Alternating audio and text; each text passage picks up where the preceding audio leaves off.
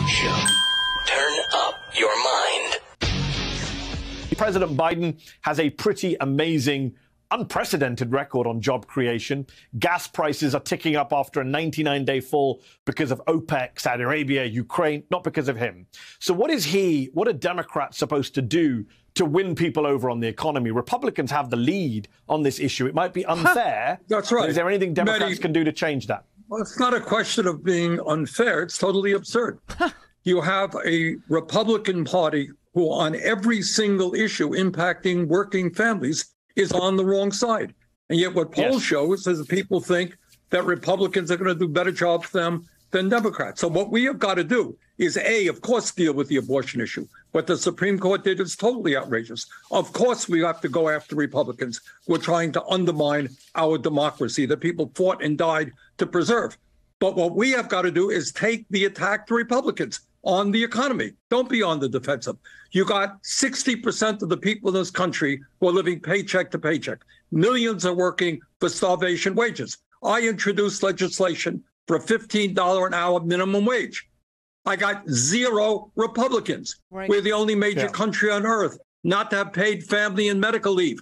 We need at least 12 weeks. Zero Republicans support that. Only major country not to have universal health care. No Republicans support that.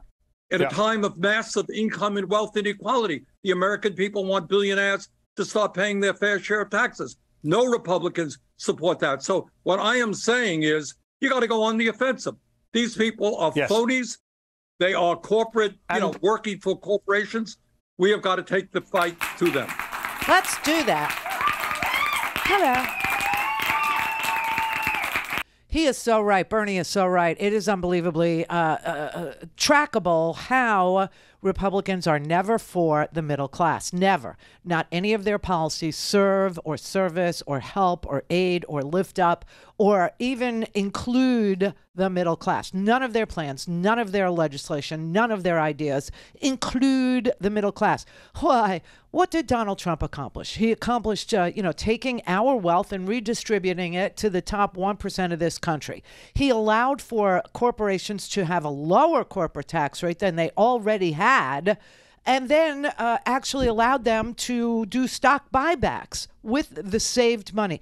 Here we are in in in an inflationary spiral that is due to Donald Trump deciding that COVID was a hoax, even though it was rampaging across the globe and it was causing supply chain failures. He talks a great deal about America first, America first, but it is Joe Biden that actually puts America first and Americans first. That's what the CHIPS bill is.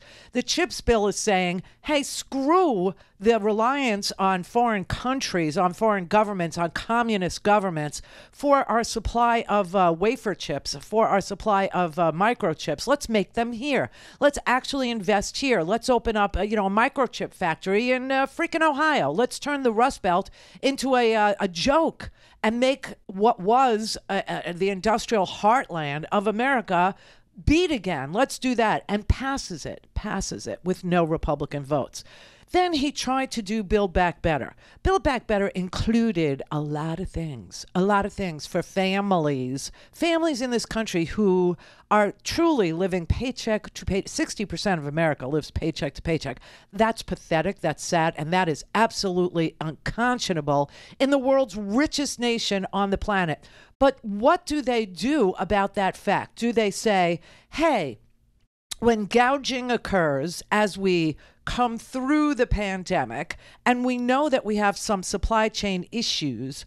When uh, profits for big oil, when profits for big ag are in the hundreds of billions of dollars, and instead of cutting costs for the American family as a thank you, or uh, they actually gouge some more, they gouge some more.